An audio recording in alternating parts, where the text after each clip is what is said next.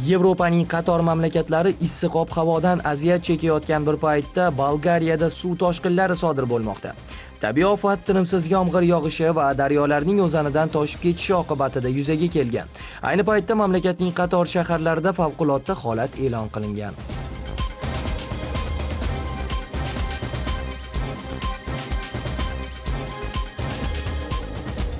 Nyu-York ko'chalarida haydovchisiz boshqariladigan avtobus paydo bo'ldi. Ushbu avtoulov Times skverda sinovdan o'tkazildi. U 30 kilometr soat tezlikda harakatlanadi. Avtoulovga yo'lovchilarning xavfsizligini ta'minlovchi, yo'nalishni belgilab beruvchi datchiklar o'rnatilgan. Ko'pchilik avtomobilda yurishni xohlamaydi, chunki keyin avtoturargohni qidirish kerak bo'ladi. Ular ortiqcha tashvishlarsiz manziliga yetib olishni xohlaydilar. O'ylashimcha, butun mamlakat, ayniqsa yosh avlod avtomatik transport vositalarida harakatlanishni xohlaydi.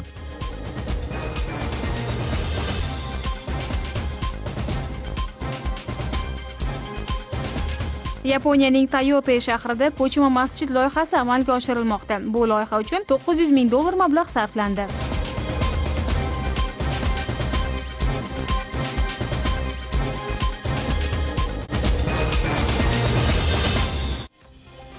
Yevropaning qator mamlakatlari issiq ob-havodan aziyat chekayotgan bir paytda Bolgariyada suv toshqinlari sodir bo'lmoqda.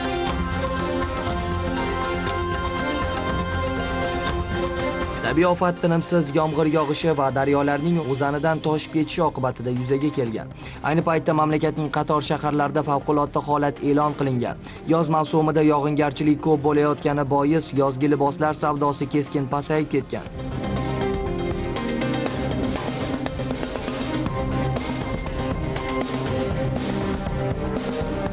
Biz ulgurji savdo bilan shug'ullanamiz. Odatda bunday paytda cho'milish liboslari savdosi avjiga chiqar edi.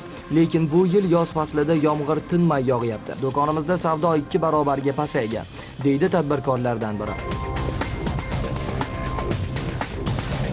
Meteorologlarning so'zlariga ko'ra, hafta oxiriga borib Bolgariyada quyoshli kunlar boshlanadi. Havo harorati 35 darajaga ko'tarilishi mumkin.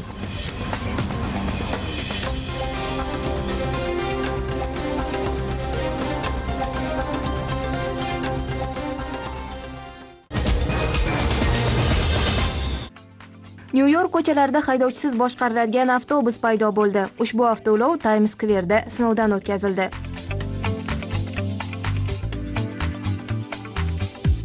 Biz avtonom harakatlanadigan Koas transportini namoyish qildik. Bu qurilma aeroportlarda, talabalar shaharchasida va shahar markazlarida harakatlanish uchun mo'ljallangan.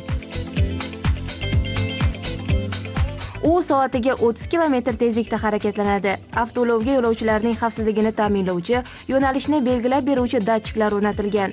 Ishlab chiqaruvchilar bergan ma'lumotga ko'ra, haydovchisiz yuradigan transport vositasi yo'lida to'siq uchrasa, darhol to'xtaydi. Keyin u to'siqdan o'tish yo'llarini belgilab, harakatda davom etadi.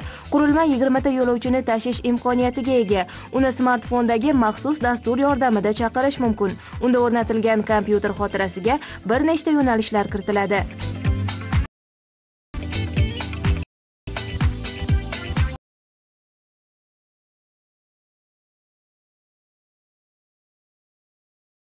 Insonlar shahar avtoulovlar uchun emas, ular uchun mo'ljallanganini his qilish kerak.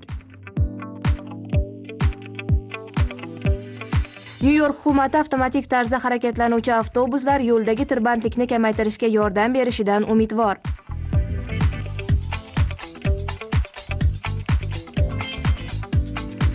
Ko'pchilik avtomobilda yurishni xohlamaydi, chunki keyin avtoturargohni qidirish kerak bo'ladi. Ular ortiqcha tashvishlarsiz manziliga yetib olishni xohlaydilar. O'ylashimcha, butun mamlakat, ayniqsa yosh avlod avtomatik transport vositalarida harakatlanishni xohlaydi. Keyingi yili masofadan boshqariladigan avtobuslar parkini tashkil etish rejalashtirilgan.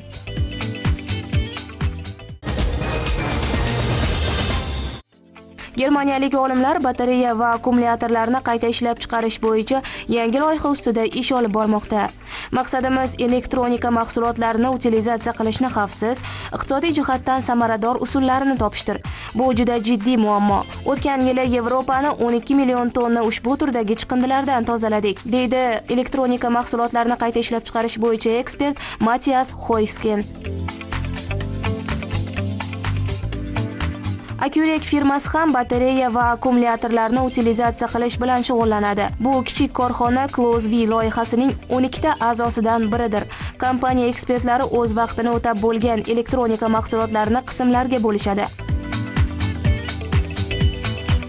Mana bu tadqiqotchilar esa ilk bora batareyadan litiy va grafitni uni eritmagan holda alohida ajratib olishga muvaffaq bo'lishdi.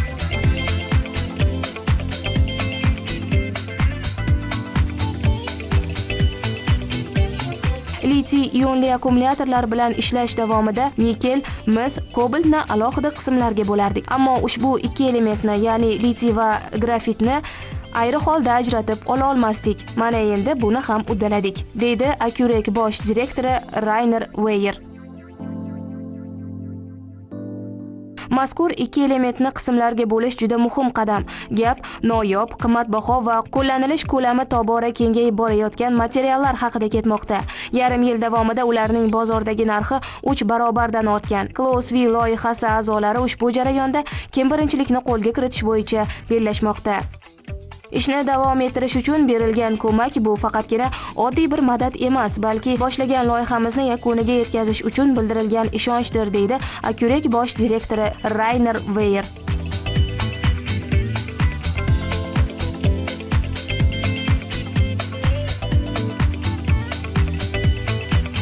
mana qarang agar smartfonni utilizatsiya qilmoqchi bo'lsangiz avvalambor nimani qayoqdan qidirish kerakligini bilish kerak.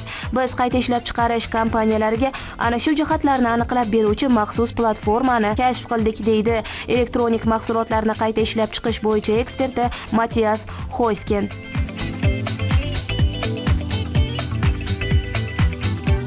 Yevrokomissiya tomonidan moliyalashhtirilayotgan closv loyihasining maqsadi qayta ishlab chiqarishning xavfsiz va samarador usullarini amaliyotga tatbiq etishdir ただいまよりモバイルモスクプロジェクト発表記念式典を開催させ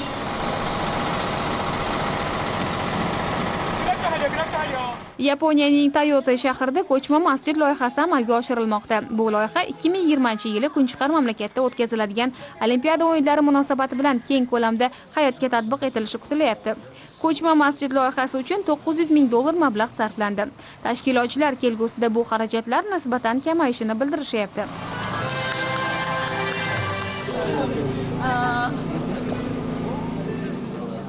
yuk mashinasi shaklidagi ko'chma masjidda 50 ga yaqin kishi amallarni bajarishi mumkin. Musulmonlar qiblani aniqlab olishlari uchun ko'chma masjidda maxsus kompaslar ham bo'ladi.